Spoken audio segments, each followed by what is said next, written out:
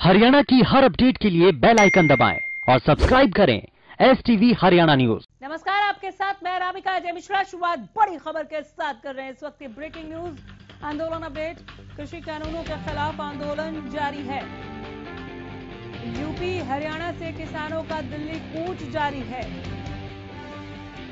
Ghazipur border पर पहुँच रहे हज़ारों किसान। बापू की पुण्यतिथि पर किसान मना रहे सद्भावना दिवस। ढांसा बॉर्डर पर किसानों के समर्थन में उतरे लोग। किसानों को समर्थन देने पहुँचे कई खापों के प्रतिनिधि। टीकरी बॉर्डर पर किसान कर रहे अर्धनग्न प्रदर्शन। कृषि कानूनों के खिलाफ आंदोलन जारी।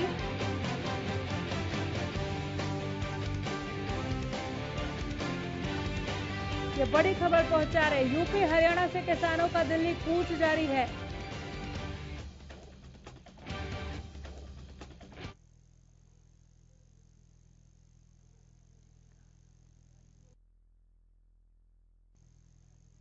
हमारे संवाददाता राजा पटेल जुड़ गए हैं। ज़्यादा जानकारी के साथ गाजीपुर बॉर्डर से क्या अपडेट आई है, इनसे जानते हैं। राजा, क्या देख रहे हैं आप? कैसी चहलकदमी है? जी बिल्कुल, देखिए अनामिका, जिस तरीके से हम बात करें, पिछले 24 घंटे में यहाँ पर जो किसानों की संख्या है, वो साफ़ तौर पर दुगनी हुई है। उत्तर प्रदेश से कि किसानों की बात करें या फिर हरियाणा के किसानों की बात करें, लगातार कहीं ना कहीं दिल्ली कूच कर रहे हैं, दिल्ली में पहुँच रहे हैं। मैं आपको दिखाना चाहूँगा कि तमाम जो किसान है, यहाँ पर डटे हुए लगातार सरकार के खिलाफ नारेबाजी कर रहे हैं। ये देखिए, जनसमूह आप जिस तरीके से पिछले चौबीस घंटे में जिस तरीके से जो किसानों की संख्या है, उनमें साफ़ तौर पर यहाँ पर इजाफा देखने को मिल रहा है लगातार सरकार को यहाँ पर घेरने की कोशिश कर रहे हैं। हमारे साथ कई किसान मौजूद हैं। सर, कहाँ कहाँ से आए आप? हम झांसी जालौन से आए हैं। और हम तो छह छियासठ दिन से बराबर हैं ही हैं।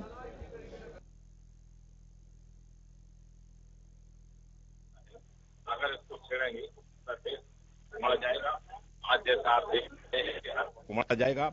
आज जैसा आप देख भी रहे हैं कि हर बॉर्डर पे हर ज़िले से हर प्रदेश से आदमी यहाँ आना शुरू हो गया है।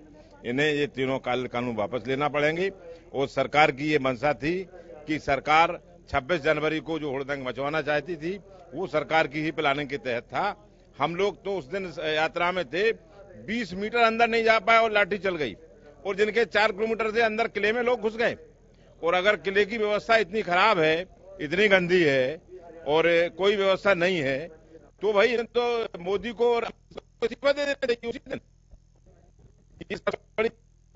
और जो लोगों ने झंडा फहराया है, वो व्यक्ति दीप नाम का एक है। उसकी फ़ोटो मोदी के साथ, अमित शाह के साथ, दोनों के साथ है। और अब बड़े बड़े नेता दोनों के साथ फ़ोटो नहीं खिंचवा पाते हैं।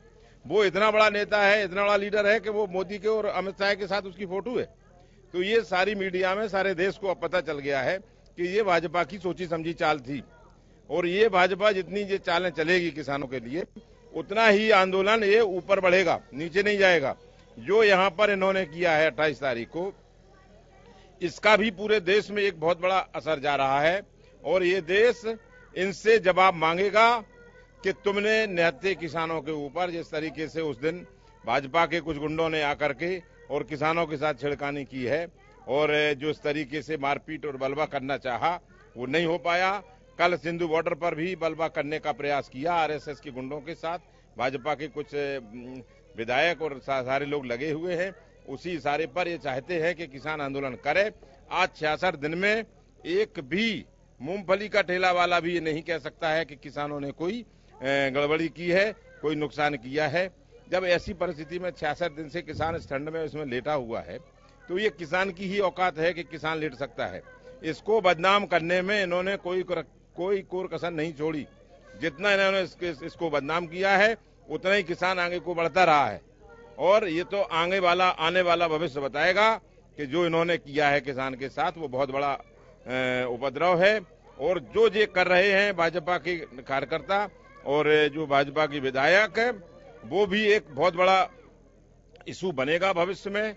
और इस इशू का भाजपा को पूरा पूरा नुकसान उठाना पड़ेगा चाहे भाजपा कुछ भी कर ले। और भी हमारे साथ किसान मौजूद है आप कहाँ से हैं हरियाणा से।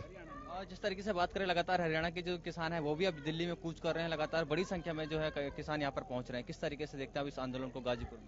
हमारे हरियाणा के अंदर हर गाँव गाँव में पंचायतें होनी शुरू हो गई थी। जिस दिन राकेश टिकैत जी के साथ जो धक्काशाही करने का प्रयास किया था प्रशासन ने और बीजेपी के गुंडों ने, जब उनका इंटरव्यू देखा, उस देखते ही गाँव से लोग रात को 11 बजे 12 बजे चल पड़े थे और 5 बजे यहाँ पहुँच गए थे।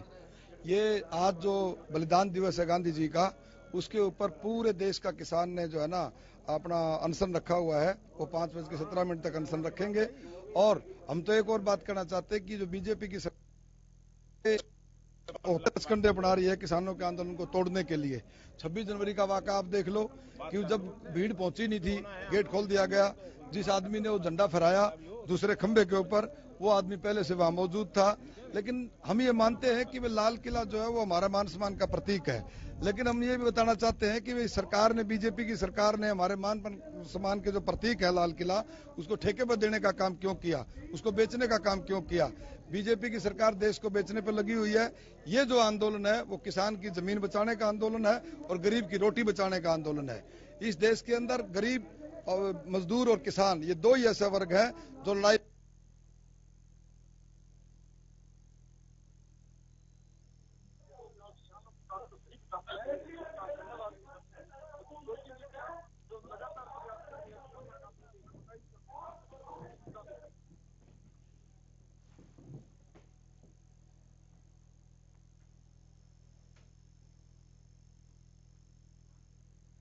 किसान नेता राजेश लाठर हमारे साथ जुड़ गए हैं। राजेश लाठर जी, मैं बहुत स्वागत करती हूँ आपका।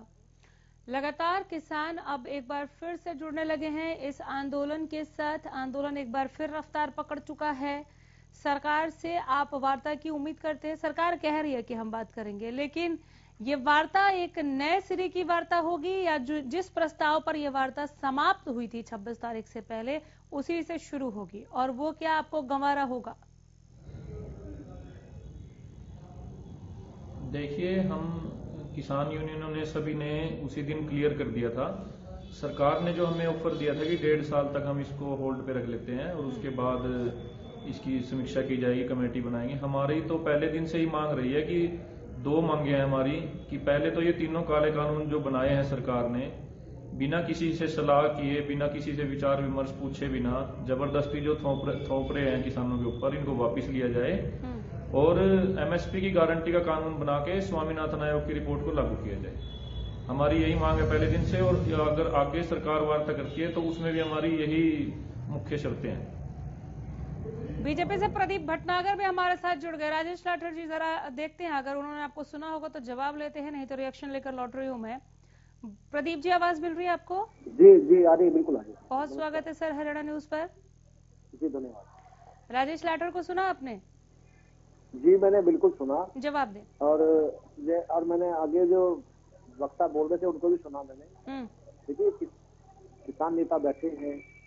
इनको पता है कि ग्यारह बार की वार्ता हो चुकी है सरकार और वार्ता करने को भी तैयार है। जी। और पूरे स्वागत के लिए सरकार खड़ी है। हम्म। मगर ये जो हट वाला माहौल जो बना रखा है किसान नेताओं ने हम्म। ये हट वाला माहौल ठीक नहीं है। कि आप काला कानून काला कानून तो बोलते हैं मैं तो कहूँगा कि जब काला कानून बोला करे तो काले कानून को तीनों को विस्तार से बताया भी करिए कि तीनों काले कानून कौन से हैं हम्म। जो आपको मंजूर नहीं है। हम्म। तो कम से कम जो छोटे किसान बेचारे जो बैठे हैं जो नहीं पढ़े लिखे हैं कम से कम उन्हें पता तो हो तीन काले कानून कौन से हैं। हम्म। विस्तार से थोड़ा काले कानून के विषय में बताया करें बैठ। क्योंकि उन जो जो पूंजीपति किसान हैं जो बड़े व्यापारी हैं जो बहुत बड़े बड़े व्यापार लेके मंडियों बैठे हैं वही चीज़ों को लेके बोलते हैं काला कानून। मगर क्या है छोटे किसान काला कानून प्रदीप जी अठारह बिंदुओं पर अठारह अगर मैं गलत हूँ तो राजेश जी करेक्ट कीजिएगा। अठारह से भी शायद ज़्यादा बिंदुओं पर सरकार सहमत हो गई कि ठीक है सुधार करेंगे संशोधन करेंगे। हर अभी आप अभी आप उसमें स्याह क्या है। है पूछ ही रहे हैं। तो ग्यारह वार्ताओं में क्या किया आप लोगों ने? ये तो अच्छा, देखिए मैं आपको बताऊँ जब तक किसान नेताओं की जो बड़ी लोबी जो बनी और मंच पे बैठी है हम्म। जब तक ये एक सीमित नहीं होगी जब तक ये छोटा पैनल नहीं बनेगा हम्म। ये नेता जो अभिनेता बड़े बन के बैठे हैं जब तक ये अपने पैनल में दस का पैनल या आठ का पैनल पंद्रह का पैनल नहीं बनाएँगे वार्ता विफल होती ही रहेगी। राजेश लाठर जी नेता कौन अभिनेता कौन? अपने क्षेत्रों में अपने नेता कौन अभिनेता कौन आपके मंच पर?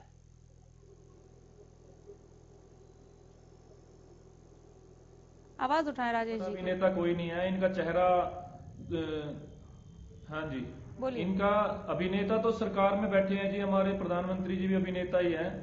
वो तरह तरह के रोल करके लोगों को देते रहते हैं कि आप अब ताली बजा दीजिए अब थाली बजा दीजिए। हम्म। कभी कहते हैं दिए जला दीजिए। उनसे बड़ा अभिनेता तो मेरे हिसाब से देश में कोई नहीं है।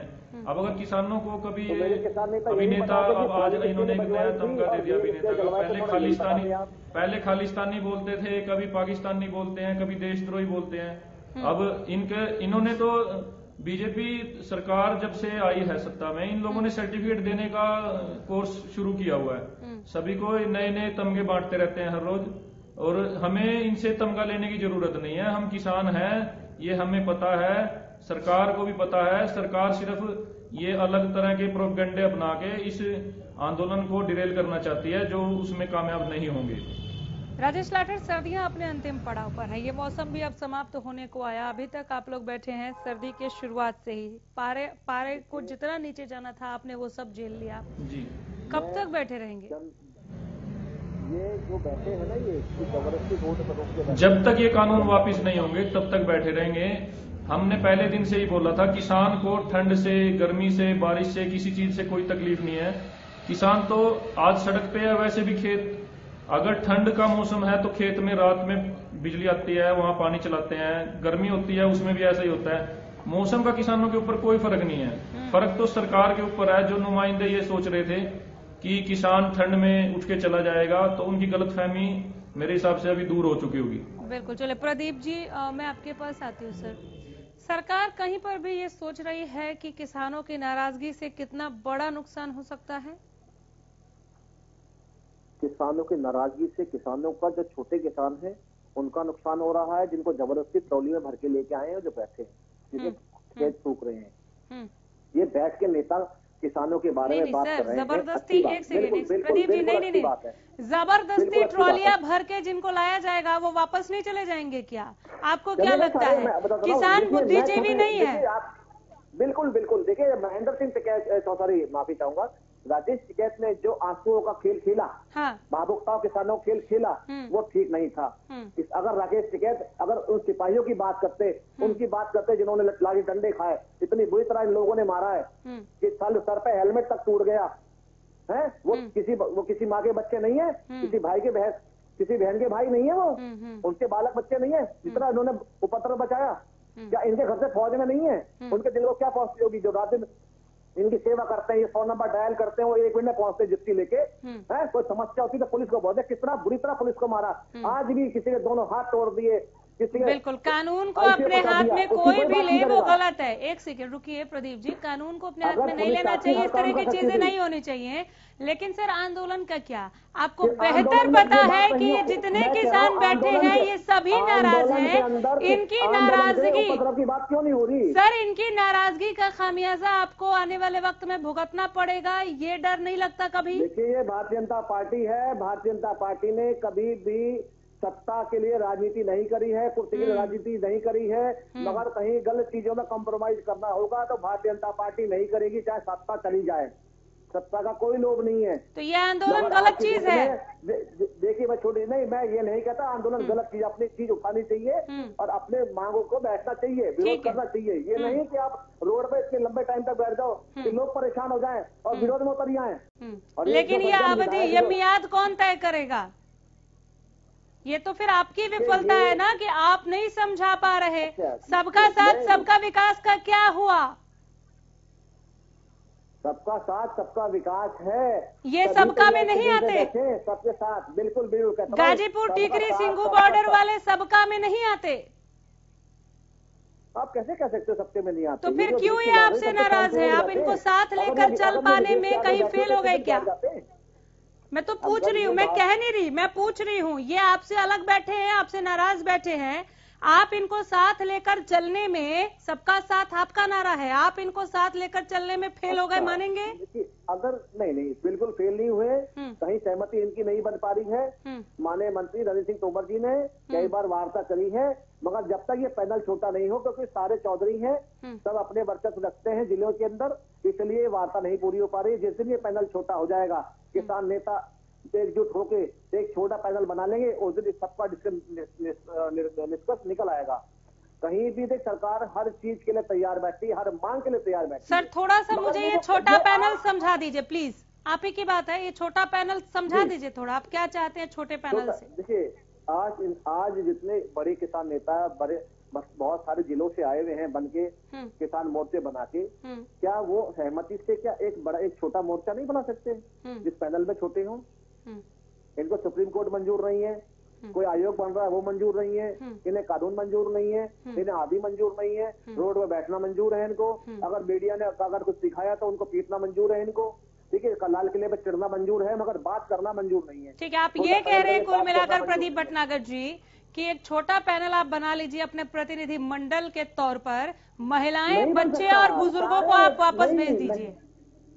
नहीं देखिए बुज़ुर्ग बच्चे बैठे रहे हाँ। जब तक इनकी मांगे पूरी नहीं होती हम्म। मगर जो वार्ता होनी है हम्म। वो इतनी लंबी टेबल पे नहीं हो टेबल को छोटी करने का मैं तो आवेदन कर रहा हूँ हम्म, मैं बिल्कुल समझ गई। छोटी टेबल राजेश लाठर क्या आप समझ रहे हैं कि पैनल छोटा होगा तो बात जल्दी होगी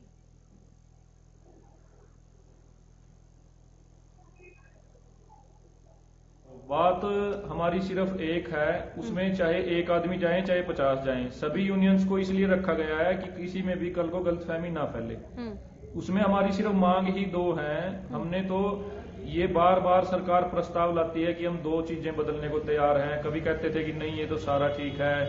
आज पंद्रह पे आ गए फिर अठारह पे आ गए।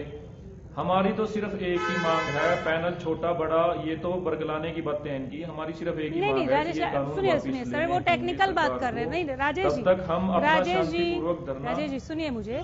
वो एक बहुत टेक्निकल बात कर रहे हैं कि बड़े टेबल पर बैठकर बात करने में लंबा वक्त लगता है। हम ऑलरेडी बहुत लंबा वक्त काट चुके हैं ठीक? उन्हें आपकी चिंता है वो इसलिए कह रहे हैं ये बात कि अगर वो पैनल छोटा हो जाएगा वैसे ही बैठक में जाने से पहले और बैठक से निकलने के बाद आप लोग बैठकें करते हैं। तो आप लोग एक मन बनाकर एक छोटा पैनल भी बैठक में जा सकता है जो बैठक से जो चीज़ें लेकर आएगा वो बाहर आप लोग रायशुमारी कर सकते हैं। आप आपने लास्ट वाले प्रस्ताव को लेकर भी कहा था कि बैठक करके फैसला लेंगे। तो ऐसे अगर छोटे पैनल की वजह से वार्ता जल्दी निपटेगी तो क्या बुरा है? छोटे पैनल से वार्ता जल्दी कैसे निपटेगी? ये तो सर, टेबल छोटा होगा तो बातें भी- बातें भी तो सीमित हो जाएँगी ना फिर। आप कह रहे हैं एक किसान की भी वही मांग है पचास किसान की भी वही मांग है तो छोटे पैनल में क्या दिक्कत है? जी। हम्म। तो वो तो बात हम सरकार से पूछ सकते हैं ना कि उनको बड़े पैनल में क्या दिक्कत है फिर? सर ऐसे तो ये ये खत्म ही नहीं होगा फिर। ये गतिरोध ही नहीं खत्म सभी को इनकी मंशा देख लीजिए अब इनकी मंशा क्या है? वो पल्ली सब गतिरोध तो गतिरोध तो पैदा सरकार ने किया है गतिरोध गतिरोध पैदा करने का सर जनक कौन है ये नहीं जानना है। हम चाहते हैं कि किसानों किसानों को आराम मिले वो अपने घर खेतों में लौटे उनकी मांगों पर फोकस किया जाए। सरकार ने कही सुनवाई। ये बात। देखिए सरकार ने कही ये बात। आप इन्हें परेशान ना कीजिए। हम्म। आप नेता लोग यही रुकिए दिल्ली में। आप बैठिए ना। हम्म, आप इन लोगों को क्यों परेशान कर रहे हैं गाँव से बुला के? अरे भाई हमारी वार्ता होनी है बैठे करेंगे। हम्म। सबके साथ करेंगे चाहे पूरे हिंदुस्तान में किसान हो या किसान नेता हो। हम्म, वो तो खुद भाई बेटा सरकार कह रही है वार्ता के लिए तैयार है। ठीक है राजेश वो तो खुद निमंत्रण और मगर कहाँ ये हाथ जो लेके बैठे है ना? काला कानून। थोड़ा थोड़ा बोलने दीजिए राजेश को तो हाँ। वार्ता बोलिए। वार्ता के लिए सरकार कहाँ तैयार है? सरकार ने तो पिछली बार जो मीटिंग हुई थी उसके बाद कह दिया था कि हमारा जी, फाइनल उसके बाद दसियों दफ़ा सरकार कह चुकी है कि हम वार्ता के लिए बैठे तैयार रहिए। उसके बाद सरकार दसियों दफ़ा कह चुकी है हम वार्ता के लिए तैयार है। मैंने कल हाँ ही किसान नेताओं से ये पूछा था कि वार्ता में आप सरकार को कोई अल्टीमेटम दे रहे हैं क्या कि पिछले प्रस्ताव को लेकर मत आइएगा? हाँ बिल्कुल हमारा क्लियर है। सरकार को हमारा यही निवेदन है कि आप लोग इन कानूनों को वापस ले लीजिए। हम्म। एमएसपी की गारंटी दे दीजिए हम अपने घर चले जाएँगे। एक सवाल प्रदीप भटनागर मैं प्रस्ताव तो आपसे पूछ रही हूँ। हर बार जब मीटिंग प्रदीप भटनागर एक सवाल मैं आपसे पूछ रही हूँ। आप लोग डेढ़ दो साल तक इसको होल्ड करने के लिए तैयार हैं। आप लोग सुप्रीम कोर्ट के कमेटी से इतर एक अलग कमेटी जिसमें किसान सरकार दोनों होंगे, वो बनाने को तैयार हैं। आप लोग किसानों के अनुरूप उनके उ- उनको जो पसंद आए, जो उनके हित में है, जो वो बताएँ, वो चीज़ें इसमें शुमार करने को भी तैयार है इन कानूनों में। सर, जब इतना कुछ आप करने को तैयार हैं तो फिर रद्द ही क्यों नहीं कर देते हैं? नया बना लीजिए। देखिए रद्द रद्द इसमें इस- इसमें पूरे लोकसभा के जो प्रतिनिधित्व है सर अगर देश हित में नहीं तो फिर आप इतना करने को तैयार है ना सर? आप इतने टाइम तक लंबे वक्त तक होल्ड करेंगे नई कमेटी बनेगी नई चीज़ें डाली जाएँगी पुरानी चीज़ों को सुधारा जाएगा। होल्ड का भी कारण है होल्ड का भी कारण है। होल्ड का कारण ये है कि आपको संशोधन जो होना है चेंजेस होनी जो कराना है आप उसके लिए तीस बार बैठिए ना तैयार है सरकार सर जब इतना ताम झाम करेंगे इतना ताम झाम करेंगे तो रद्द करके नए सिरे से बना दीजिए क्या दिक्कत है? आप ही के किसान हैं। अगर अगर अगर उसमें नहीं नहीं अगर आप रद्द की जो बात करें अगर रद्द को ना करके अगर उसमें संशोधन कर दिया तो क्या बुराई है? सर अगर वो पक्ष नहीं मान रहा है सर बात तो वही हो गई ना आप कान इधर से पकड़े या घुमा के पकड़े हाथ। अगर अगला पक्ष नहीं मान रहा है किसानों की मौतें हो रही हैं और और चाहे जिस किसी ने भी किया हो 26 जनवरी को जो हुआ वो बहुत बुरा हुआ उसके बाद भी हम लगातार टकराव देख रहे हैं। कहीं तो आंदोलन का छोर ढूंढना होगा ना सर? अगर वो नहीं मान रहे हैं आप जब होल्ड करने को संशोधन करने को नई चीज़ें शामिल करने को तैयार है तो रद्द क्यों नहीं कर होल्ड का भी देते कारण होल्ड का भी कारण है। हम्म। होल्ड के लिए इसलिए करा गया कि वार्ता हो सके। ये होल्ड कर दे रहे आप वार्ता कीजिए आप संशोधन कीजिए आपकी हर चीज़ से बैठे टेबल पे बात कीजिए। इसलिए इसको वार्ता को डेढ़ साल दो साल कहा गया है इसलिए। मगर ये चीज़ डिसीज़न सर, तीसरा महीना चल रहा है आंदोलन का। खत्म कर दे तीसरा महीना शुरू हो गया इस आंदोलन का। अभी तक वार्ता से तो कोई कोई कोई रिज़ल्ट निकला नहीं। आगे क्या? देखिए कानून को समाप्त करने का कारण बहुत से हैं। ये समाप्त लगे हुए हैं और जो समाप्त कराना चाहते हैं मैं मैं नहीं बोलना चाहता कि किनका पीछे हाथ है। जो समाप्त को लगे हैं। अगर संशोधन बहुत अच्छी चीज़ होती है आप अब घर के अंदर भी तोड़वा के संशोधन कराते हैं ना आप। क्या आप ये कह रहे हैं कि रखी है, कानून कानून रद्द नहीं होगा चाहे जो हो जाए? बिल्कुल बिल्कुल नहीं होगा। हाँ। तो फिर राजेश लाठर राजेश लाठर सरकार कह रही है कि कानून रद्द नहीं होगा चाहे जो हो जाए बिल्कुल रद्द नहीं होगा। ऐसे में आप लोग वार्ता का इंतज़ार भी कर रहे हैं तो क्यों कर कर रहे हैं?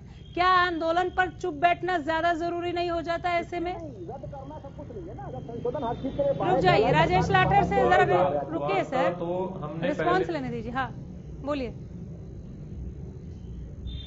वार्ता वार्ता तो जब भी सरकार हमें बुलाएगी हम वार्ता के लिए तैयार हैं लेकिन हमारी मांगे यही हैं हम जब भी जाते हैं मीटिंग्स में सरकार वहाँ जब मीटिंग होती है एक एक मुद्दे को उठाया जाता है। सिर्फ़ एक यही पेज फंसा है सर एक सेकेंड यही पे पेज फंसा है कि आप कानून रद्द कर दीजिए वो कह रहे हैं हम रद्द नहीं करेंगे। उनसे भी मैंने बिल्कुल सीधा सवाल पूछ लिया कि जब होल्ड करेंगे सुधारेंगे नई चीज़ें डालेंगे तो आप रद्द क्यों नहीं कर देते? आपसे भी मैं सीधा सवाल पूछ रही हूँ जब आपके हिसाब से चीज़ें उसमें आ जाएँगी बदलाव हो जाएगा तो आपको क्या दिक्कत है? देखिए जब सरकार ने कोरोना काल में ऑर्डिनेंस के ज़रिए इस कानून को लाए। उससे पहले किसी की विचार विमर्श नहीं किया। कोई किसानों से पूछते कोई कृषि विशेषज्ञों से पूछते किसके दबाव में है सरकार जो इन कानूनों को वापस लेने सर ये है? ये क्या नुकसान हो जाएगा सरकार पहले से का? हम लोग ये बात कर देश रहे हैं। हित में अगर देखिए एक एक सीढ़ी चढ़ के हमें ऊपर जाना है आगे निकलना है आंदोलन का हमें कोई ना कोई समाधान ढूंढना है। जब हम सबसे आखिरी पायदान पर पहुँच गए आखिरी आखिरी सीढ़ी पर पहुँच गए उसके बाद आप पहली वाली को याद करेंगे तो ऐसे कैसे समाधान निकलेगा? आपकी तो नाराज़गी इसीलिए थी ना कि आपसे पूछकर क्यों नहीं बनाया आपको बुला के क्यों नहीं बनाया? तो अब नाराज़गी का हल ढूंढिए ना सर उस पर आप दोनों फोकस करें। यही उम्मीद करती हूँ वार्ता हो जल्द समाधान निकले। बहुत शुक्रिया आप दोनों का वक्त देने के लिए और इस तमाम बातचीत के लिए।